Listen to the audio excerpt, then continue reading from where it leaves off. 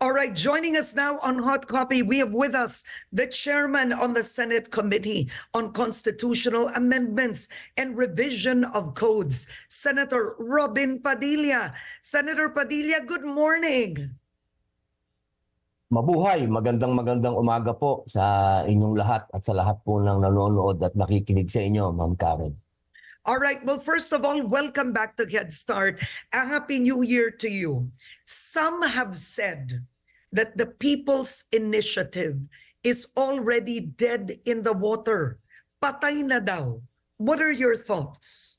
Uh, una po, A'udhu Billahi Minash Shaitan Rajim Bismillahirrahmanirrahim. Assalamualaikum. Ah, ako po ay masyadong apektado kapag ka yung ang binabanatan, yung People's Initiative. Kasi hindi po dapat yon ang binabanatan noong ah, ng lahat ano? Kasi itong People's Initiative ito ay nasa konstitusyon. Malinaw na malinaw ito. Ah, Article 6 nandyan yan. Article 17 nandyan yan. Kung meron tayong problema ngayon sa isinasagawang People's Initiative wag natin banatan yung People's Initiative. Ang banatan natin yung paraan kung paano ito ginawa at yung paraan kasi na ginawa nila, yung tanong, yung, pag, yung tanong na ibinigay sa tao at yung pinirmahan ng tao, yun ang kine-question natin. Kasi kung pagka inulit-ulit natin na yung People's Initiative patay na, eh, para nating nilalabag ang konstitusyon nun kasi ang linaw sa konstitusyon na may People's Initiative talaga. Ngayon, ang questionin natin kung paano ito isinagawa. Kung tama ba, legal ba? Huwag nating sasabihin na matay na yung People's Initiative. Ay huwag po, dahil karapatan po ito ng taong bayan. Ito po, eh, meron kayong ah, kaparehas na kapangyarihan ng mga senador at mga congressman. Eh, wag po nating, ano, wag nating ah, sabihin patay na. Opo, sabihin po natin mali yung pamamaraan. Oo. Okay, isa po kayo sa pumirma no, sa manifesto ng Senado because the Senate unanimously signed the manifesto expressing the disapproval of the manner in how this people's initiative was conducted.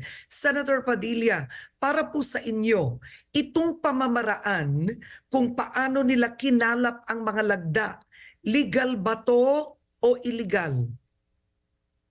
Ah, una po, kapag ka sinabi natin na nangalap sila ng signature, legal 'yon. Yun po ang sinasabi talaga sa batas. Kailangan makakuha ka ng 12% ng ah, ah, populasyon ng botante at 3% sa bawat distrito. Kung yun ay ginawa, eh legal yun. Ngayon, kung gumamit ka ng pondo ng bayan at yan ay napatunayan, yun ay illegal.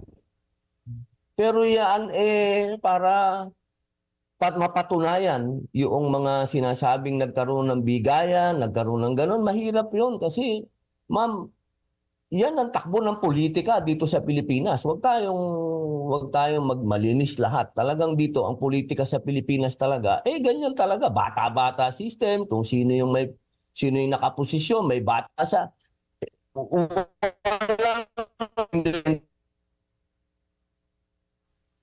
Pero ang ang tanong kasi dito, kung isinagawa ba ng tama? Para sa akin, isinagawa ng tama. Kumuha sila ng ng ah, signature.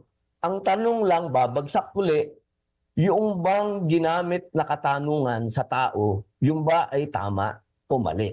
Para sa akin, kaya ako pumirma doon sa manifesto ng ah, ating ah, institusyon, ng Senado, kasi mali talaga yung tanong. Nag, Ano- ano talaga. Ano yung tanong para sa inyo na mali doon? Eh, sinasabi po doon ah, na kailangan ang ah, Senado at ang ah, Kongreso, ang ang ah, House, ang ma- ang malaking kapulungan ay bumoto ng sabay. Nang Eh, iisa, eh. nang iisa, bilang isa. Opo, jointly eh. Sabi, voting jointly. Eh, sa akin pong palagay, alam nyo ma'am, kung ako ay tinanong nyo, few years ago, nung tayo'y magkasama pa, ah, Hmm. siguro 13 years ago yon nag-guest ako sa ah, Head Start. Katatapos ko ng Wawawi. Sasabihin ko sa inyo, talaga, point blank, sasabihin ko sa inyo, ito ang gusto natin talaga, magkaroon ng, ng ah, voting jointly, nang matapos na yung question dyan. Pero ngayon, na tayo po eh, isa ng ah, senador at tayo'y sumusunod sa eh, kailangan pong ipaglaban ko yung konstitusyon dahil nag-oath ako dyan. Ang linaw-linaw, ma'am, sa Article 6, yan po yung legis- legislative branch ng government. Ang linaw-linaw ng paghihiwalay ng ng uh, Senado at ng Kongreso. Yung buong article na yun, pag binasa mo, talagang hiwalay talaga yung dalawa. Kung paano ka boboto ng senador, paano ka boboto ng congressman, ano yung powers nila. At doon sa Section 23, sinasabi doon na kapag ka mag-state of war, kailangan magkaroon ng joint session ang both houses voting separately. Pa- Paano yun? Kung doon sa pag, pagka pasok natin sa state of war, tayo ay voting separately, pero pagdating sa konstitusyon, voting tayo jointly. Parang malabo yata yun. Para po sa akin talaga, ah, kung gusto natin magkaroon ng revision, kung gusto natin magkaroon ng amenda sa saligang batas, kailangan nasa loob pa rin tayo ng saligang batas. Huwag tayong lalabas doon. Kasi pag lumabas tayo doon, eh, hindi legal yon makakaroon ng maraming legal question. Hin- Hindi po po pwede kasi kailangan sa batas laging precise. Kailangan tama. Kailangan walang katanungan, walang butas. Okay. Now, nagsalita si President Marcos Jr. na nawagan siya na tigilan na itong mudslinging. Yung mga nakakainsultong salita sa isa't isa, mabababang antas ng diskusyon. Unang-una, matanong ko sa inyo, no? You have always been a Duterte supporter, right? Narinig Hanggang ngayon po. Opo. Oo. Narinig niyo ang mga akusasyon ni dating Pangulong Duterte kay Pangulong Marcos Jr. Ano ang pananaw mo sa nangyaring palitan na yon?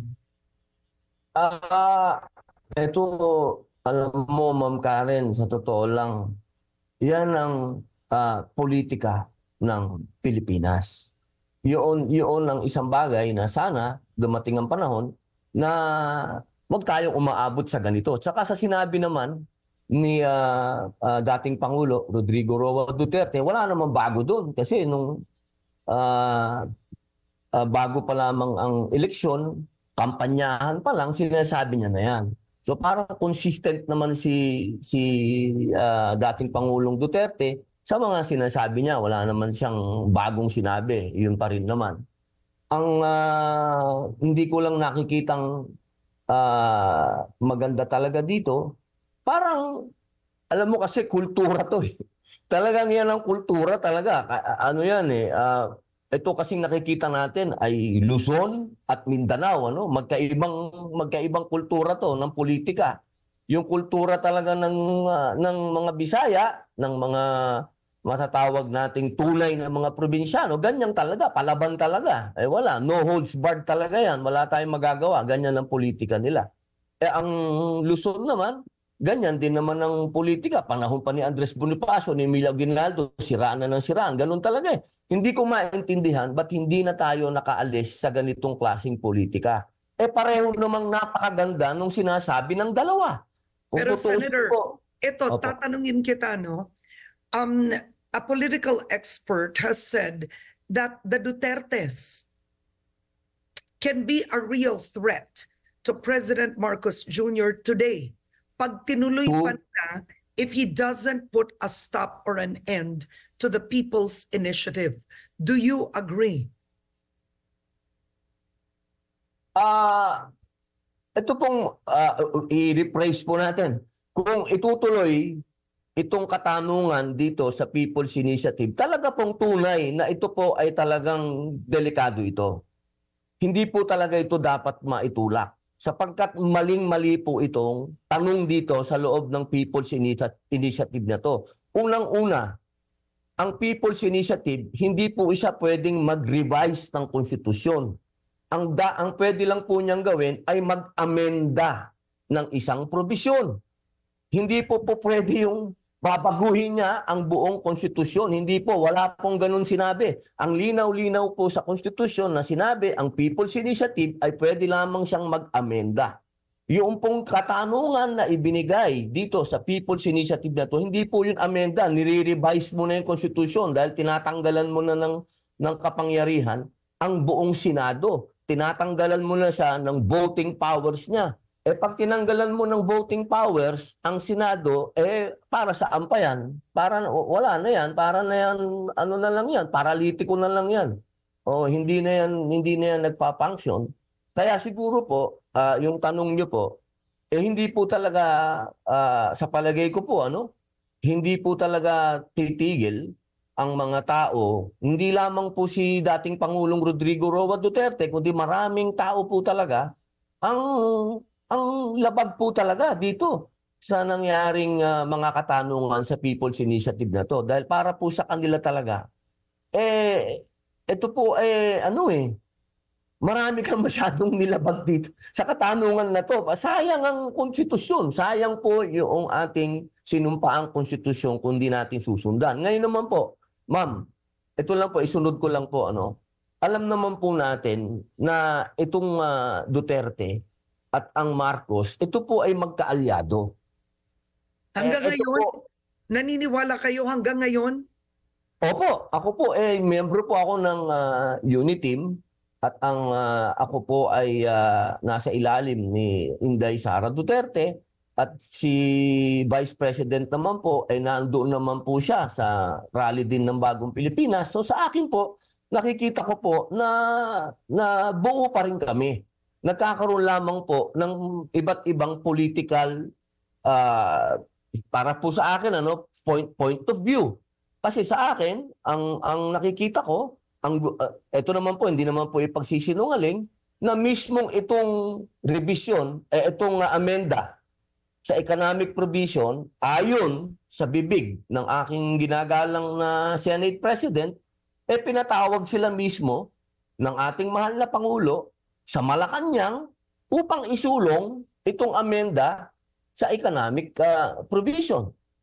So para po sa akin, eh wala pong ah, conflict dito dahil nung panahon din naman ni Pangulong Rodrigo Roa Duterte, eh nagsusulong din naman siya ng mga pag-amenda. Eh gusto nga ng Pangulong Duterte noong araw, federalismo eh.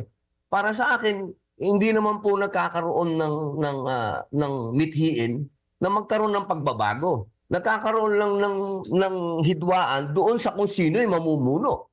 Yun lang naman po ang laging ah, diskusyon dito sa Pilipinas. Eh. Sino ba dapat ang mamuno? Ako ba o ikaw? Ganun po eh. Ito lamang po, usapin lamang po ito kung sino ang mamumuno pagkatapos ni ah, Presidente ah, Ferdinand Marcos Jr. Okay. Alam mo, very good point ah, actually. Uh, because you are the chairman of the Constitutional Amendments and Revision of Codes, you actually know the Constitution by heart and you and you have the same point of view and interpretation as former senior associate justice Antonio Carpio. Kasi ang mga congressman na nakausap ko, Senator, hindi ganyan ang pananaw. Pareho kayo ni Justice Carpio na kapag babaguhin mo na ang pundasyon at ang forma ng konstitusyon, kailangan na constitutional convention o constitutional amend ah, Assembly. ah, Assembly. assembly. Pero Opo. ang People's Initiative, ito lang yung mag-aamyenda ka ng iilang probisyon, isang bagay. Isang Yun bagay lang po. Opo, Oo. opo. So, At dadaan po yun sa Pilibisito. oo. Opo, opo. Oo. So, Eh, palagay mo, bakit pinipilit ito ng mababang kapulungan?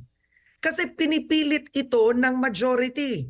Pag in-interview mo ang mga majority congressmen, sinasabi nila, eh sumulat kami sa Senado para sa CONAS, di kami pinansin.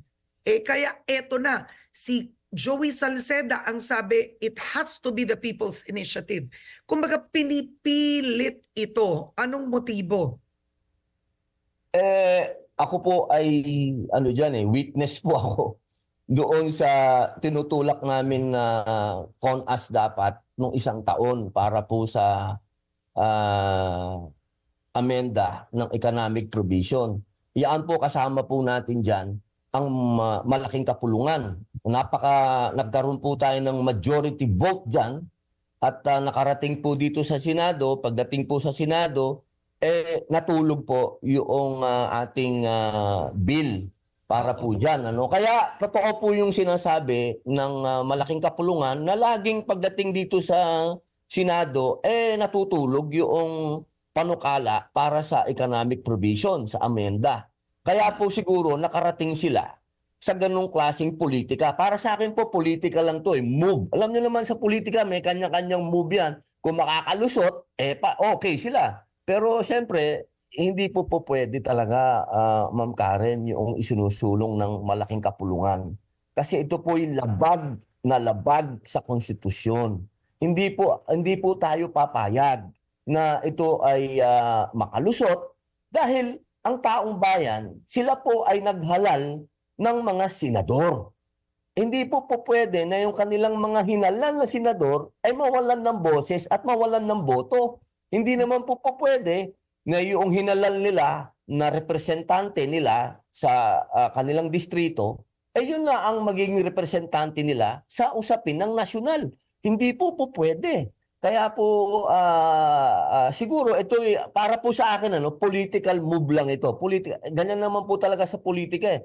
Kung hanggang saan makakalusot yan, hahanapan nila ng butas ang batas kung sila ang sa- eh, pero hindi po talaga pwede. Ang mananaig dito ay yung supreme law ng ating ah, bansa at yan ang saligang batas, yan ang konstitusyon. Hindi natin pwedeng gamitin yung mga batas-batas, yung mga normal na batas natin, hindi po pwede. Lahat yan, lahat ng mga batas ng yan, nasa ilalim lang yan ng saligang batas.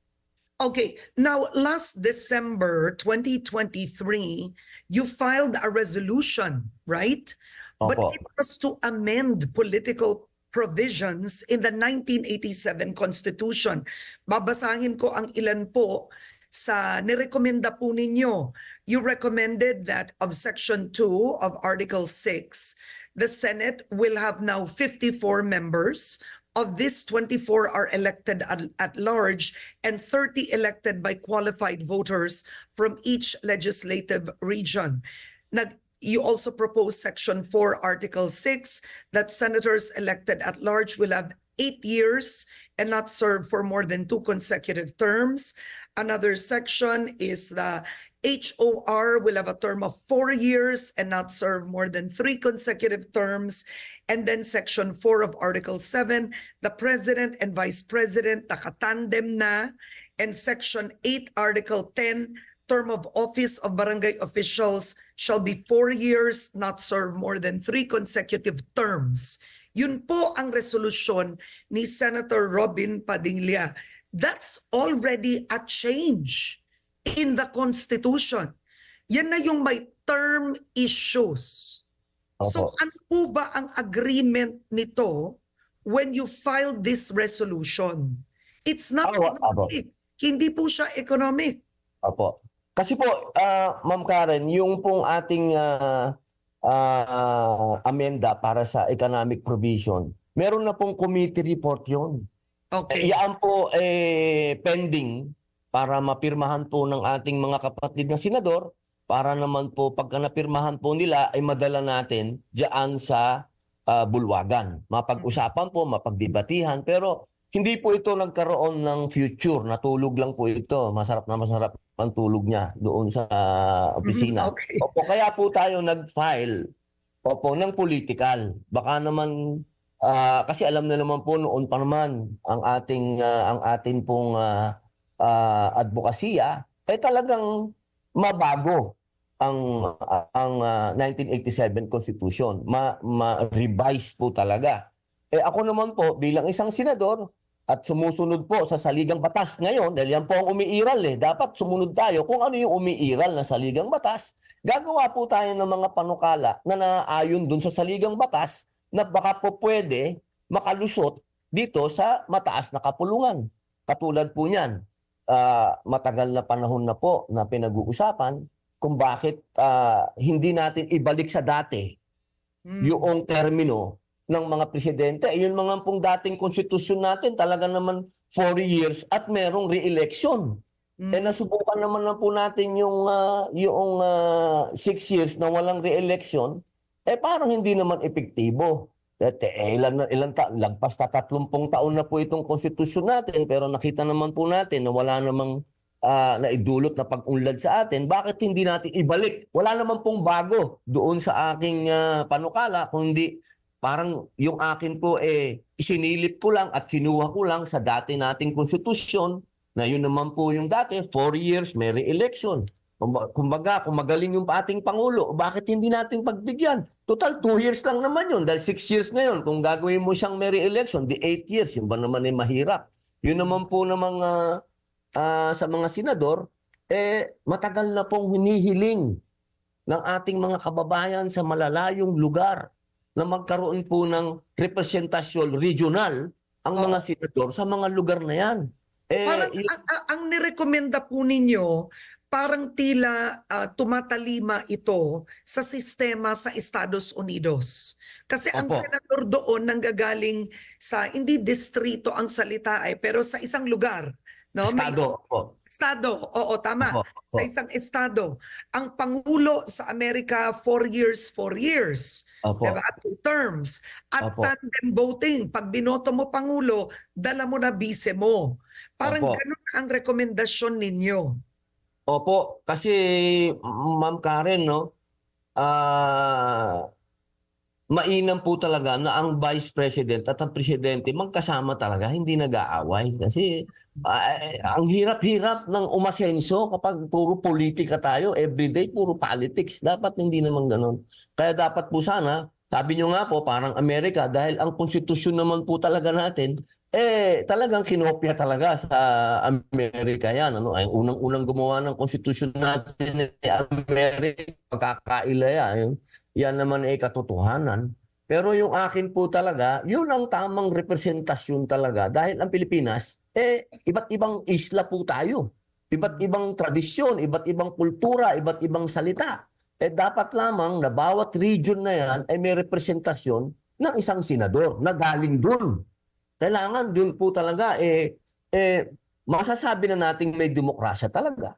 Mhm. Yun masasabi na natin talaga na well represented lahat ang, ang tao sa Pilipinas kapag nangyari yun. Okay. Ang maghirap lang, maganda ang intensyon, ang maghirap, ang magtat ang, ta- ang tanong nga, sino makikinabang? Kapag naipasa ito ng CONAS o CONCON, nangangahulugan ba ang nakaupong Pangulo? Pwede siyang tumakbo ulit, di ba? Yan ang tanong. Or doon na ba yan sa susunod? Hindi na tatakbo na yung, yung kasalukuyang Pangulo. Okay, pero moving forward, ang Opo. mga kasamahan nyo, inakusahan si Speaker Martin Romualdez na siyang nasa likod ng People's Initiative na ito. Yun ba ang paniniwala ninyo, Senator? Ako po, ah, bago pa lang po nangyari ito, ah, itong December pa lang, ma'am, sinasabi ko na, na ang People's Initiative, meron akong sarili eh. Meron akong sariling People's Initiative, umiikot na ako eh. Umiikot na ako sa mga paaralan, sa mga graduation, nagsasalita na ako para magkaroon ng unicameral ah, form of government. At nabanggit ko na rin noon na na kung ito ay suportado ito ng Kongreso ng mababang kapulungan dahil ako naman eh hindi naman ako magsisinungaling sa inyo. Hindi ko naman nakakausap si si Speaker Romualdez, wala naman akong linya sa kanya. Pero ito advocacy ko noon pa. ito na ako. Gusto ko talaga maging unicameral tayo talaga. Kaya noong noong ah, ah, lumabas na isinusulong ito ni Speaker Romualdez, hindi naman ako nagkaroon ng pagkabigla, ako ba ay na-surprise o hindi ho- hindi ako na-surprise. Kasi kung gusto mo talagang baguhin ang Pilipinas, eh unahin natin ang forma ng gobyerno. Dahil hindi naman tayo magkakaroon ng tunay na pagbabago kung hindi natin babaguhin ang forma ng gobyerno. Ito na po ang Oh, ating forma Senator, for 37 so- years. Opo. Naniniwala kayo kung halimbawa si Speaker Romualdez ay nasa likod ng People's Initiative, naniniwala kayo, hindi illegal yon, hindi labag yon. Kasi ang sinasabi ng ilan, dapat ordinaryong tao ang nagsisimula, ang nagsusulong ng People's Initiative. Lumabas sa Senado, di ba, may litrato si Pirma Lead Convener Noel Onyate sa isa sa bahay ni Speaker Romualdez. Sa inyo ba labag yon? Sa akin po, sa akin po, hindi po labag yun hanggat walang usapin ng pera. Kapag nagkaroon, nagkaroon ng usapin ng pera, nagkabayaran sila at ang ginamit nila ay pe- pera ng bayan, ayun ang bawal. Malaking, malaking talagang yan eh, big mess yan. Oo. Pero kung ito, congressman ka, distrito mo, may gagalaw sa distrito mo, eh ikaw ang ma- eh, natural yun eh. Sabi sa konstitusyon eh, bawat distrito. Sino ba nasa distrito? Di ba congressman? Yun naman na wag natin alisin yung yung logic na yon. Ang ang masama, ang nakakasama dito kapag gumamit tayo ng pera ng taong bayan. Yun, lilinawin natin, lilinawin natin yun. Pero para Kumbaga- kumilos. Oo, kumbaga ang sinasabi ninyo, kunyari, papapirma ang kapalit, ayuda, 'di ba? Parang ganon. Y- yung, yun ang alegasyon. Bawal Yung yun. pong, yung pong ayuda, yung ayuda kasi, ginagamit naman yan lahat ng politiko, ma'am. Lahat naman ng, ng politiko gumagamit niyan kahit wala namang kahit wala namang people's initiative eh, talagang yan ay naging practice na yan, yung lahat ng klase ng ayuda na yan. Ang sinasabi ko pong bayad, yung hiwalay. Mm. Hiwalay.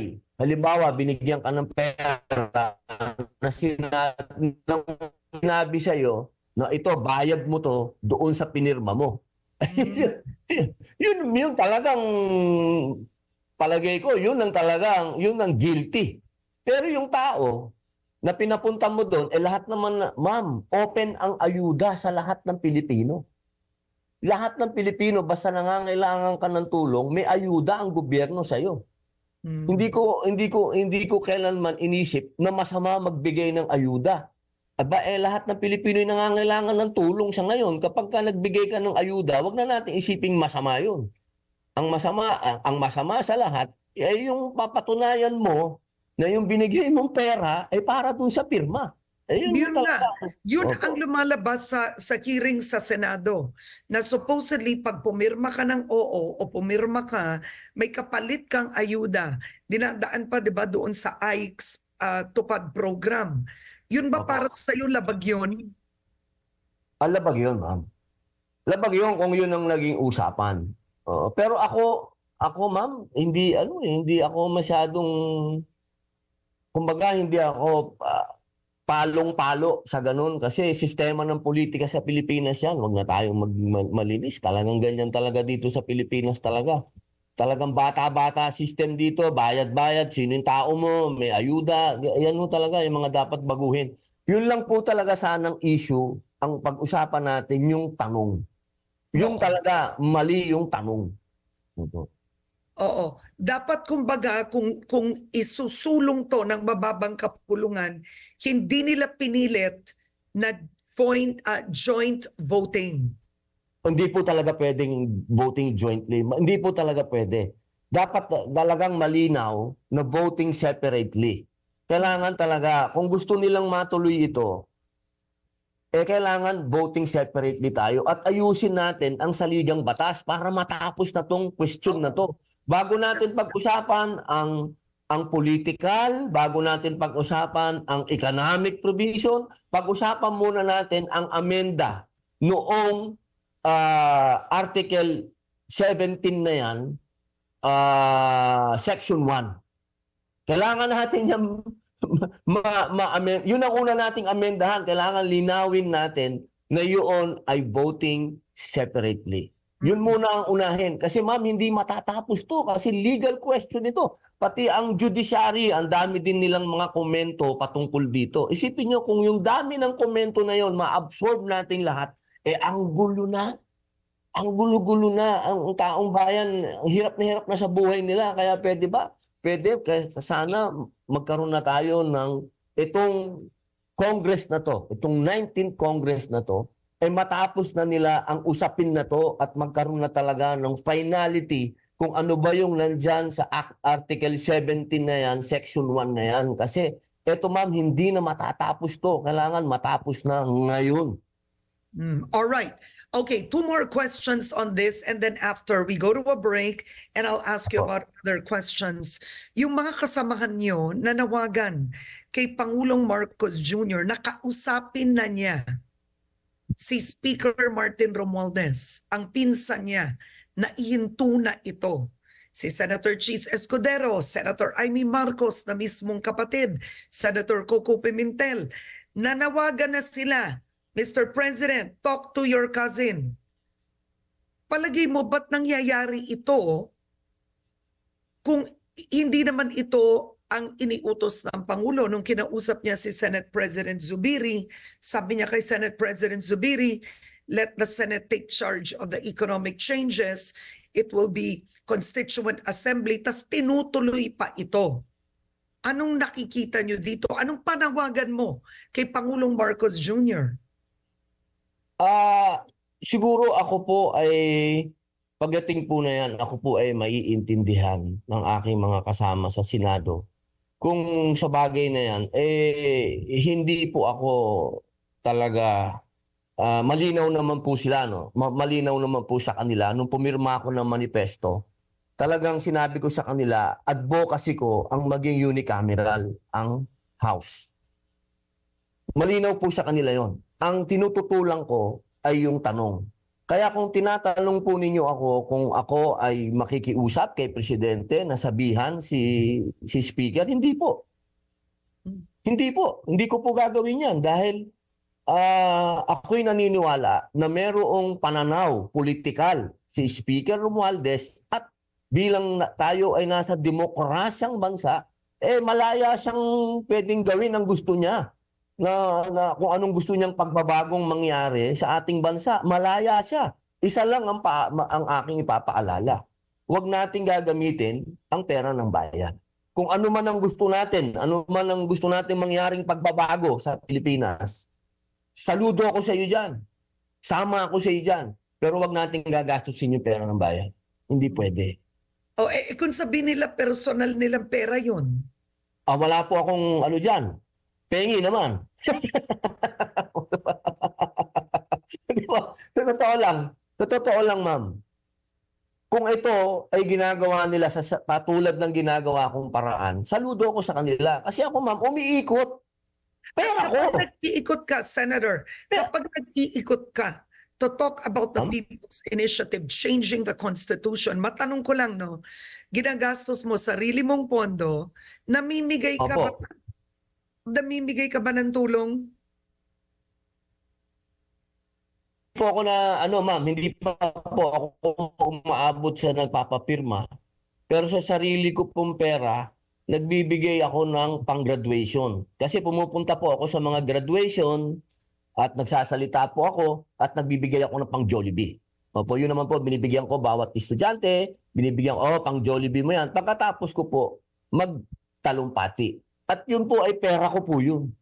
Hindi ko po yung pera ng gobyerno. Pera ko yun. Opo. Okay, but what are your Pero thoughts? wala pa po akong, hindi pa po ako na- nangangalap ng signature ha. Wala po akong signature na hinihingi pa. Wala pa po ako dun. Hmm. Okay, so what if it's because some may say that reeks of patronage politics, right? Yung binibilan, nagbibigay tayo, nagpapabili ng pagkain, politiko ka, kahit papaano may kapalit pa din yun. Kahit personal na pera. Kahit personal na pera. Isn't that, isn't that patronage politics in practice? Ma'am, putol-putol po. Sorry po, napuputol po. Sorry. Hindi po ba yun, aren't you practicing patronage politics? Let's continue our discussion with Senator Robin Padilla. Senator, tatapusin ko lang ito, no? Kung ginagamit ang personal na pera ng politiko, personal, pinamimigay ito, pero pinag-uusapan ang People's Initiative, sasabihing tulong to, hindi ba political patronage yun? Isn't that patronage politics? Ah, kasi ma'am sa kultura natin, sa kultura natin ano na ng Pilipino, hindi naman ibig sabihin na binibili mo yung boto kung binibigyan mo siya ng pamasahe, pangkain. Pa- Kailangan lang malinaw yung usapan ninyo, di ba? Kasi kung ang halimbawa, kausap mo yung tao, talagang o diretsahan mong sinabing, "Oh, ito, pirmahan mo to, bibigyan kita ng pera." Eh, yun yung masama na talaga yun. Yun para sa akin eh talagang mm, wala nang pinakamasama pa doon. Kahit personal mong pera yan o pera ng tao yan, mali yun. Hmm. Pero yung ako, kaugilaan ko na yun eh. Talagang hindi pa ako politiko, talagang pinamimigay ko na pera ko. Talagang para sa akin, eh, talagang ang biyaya ay ipinamamahagi. Katulad po noon, halimbawa, ako eh nasa graduation, hindi ko naman sinabi sa kanila na magpi-people's initiative ako.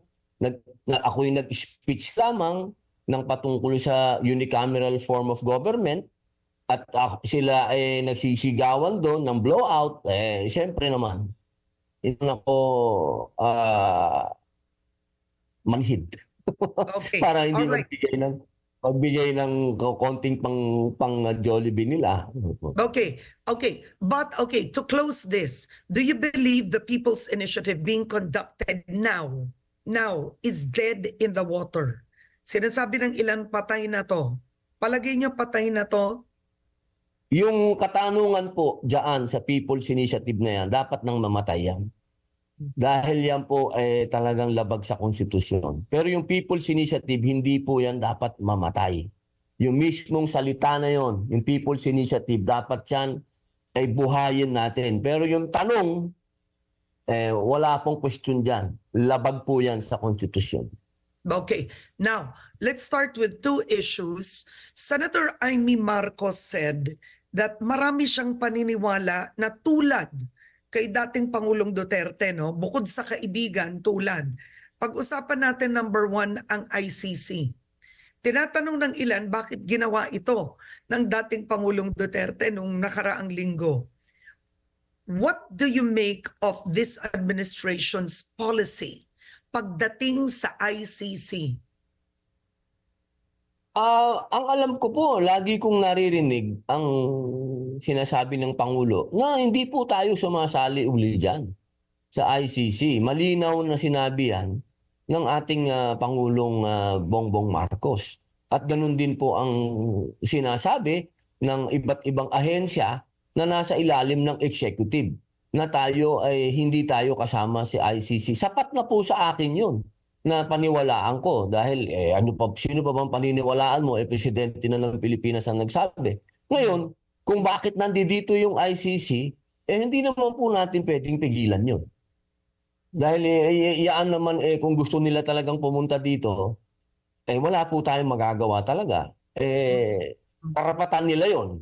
Eh pagka hindi naman natin binigyan ng visa yan, para namang ano naman klase naman ng ang ating bansa. Ano, hindi naman tayo natatakot sa kanila. Hindi naman tayo natatakot diyan.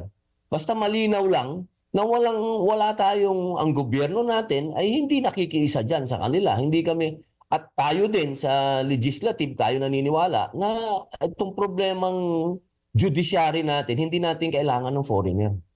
Oo. Kasi na, di ba si Senator Ronald Bato de la Rosa, tinapat niya si Pangulong Ferdinand Marcos, sabi niya, "Wa- man up. Ano ba totoo? Pakukulong mo ba kami? Kasi sinabi ni sinabi ng administrasyon ay pwedeng nandito ang ICC sa bansa.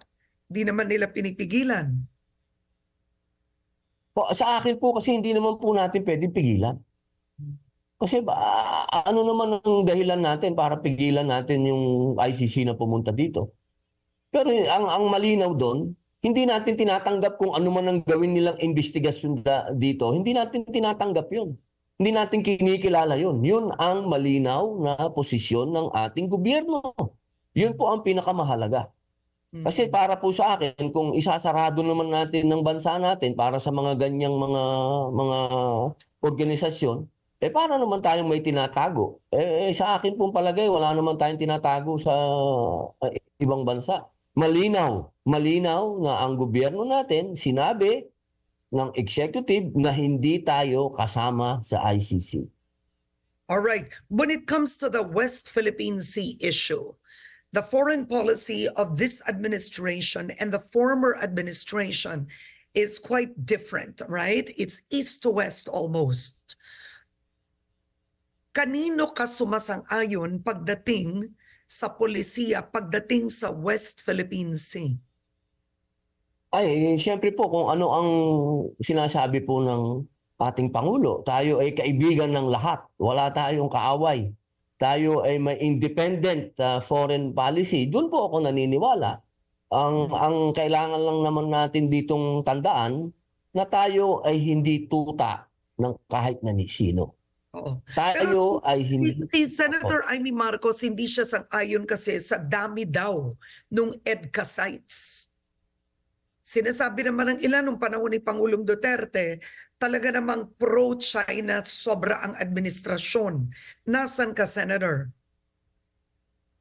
Iyon po kasi may history po kasi ang EDCA. Tandaan po natin kung bakit yan na na na itatag ano. Kasi yan po yung nangyaring ah, yan po ay resulta nung nangyaring standoff diyan sa Scarborough Shoal. Pagkatapos noon nagkaroon na tayo ng mga EDCA, ng ganyan. Nagkaroon na tayo ng mga enhanced agreement, defense agreement sa Amerika. Eh, yan naman po eh natin maiiwasan dahil tayo eh may mutual defense treaty sa Amerika at dapat nating pagtibayin yon. Eh, hindi naman po pwede tayo pumirma sa isang bagay na hindi natin pagtitibayin. Ang tanong lang po diyan, tayo ay pupunta sa isang gulo na hindi naman nating gulo. Dapat dapat eh mag matuto na tayo no na tayong tayo ay mahirap na bansa, naghihirap tayo ngayon. Ang resources natin dapat dinadala natin sa mga kababayan nating naghihirap. Hindi dapat tayo nag-iisip na tayo sasali sa isang gulo na uubusin ang resources natin. Yun lang naman ang aking ang aking ah, posisyon dito sa West Philippine Sea. At ito ang ah, usapin na sa West Philippine Sea ay nananatiling law enforcement to sa aking palagay. Sa aking palagay, ano, hindi po ito dapat pinag-uusapan ng Armed Forces of the Philippines. Ito ay pinag-uusapan lamang ng Philippine Coast Guard at China Coast Guard. Ito po ay law enforcement issue. Para po sa akin, hindi dapat to palakihin. Ito ay dapat tayo magkaroon ng ah, ah, ah, ah, pag-uusap sa China. Kailangan mag, ma- makipag, may, meron tayong ah, para po sa akin ano, ituloy natin yung pakikipag-usap sa China. Kasi kung kung ang usapin po dito sa West Philippine Sea, kung ating pinag-aawayan dito, eh hindi naman ah, ito ito lang po sa atin lang po ano.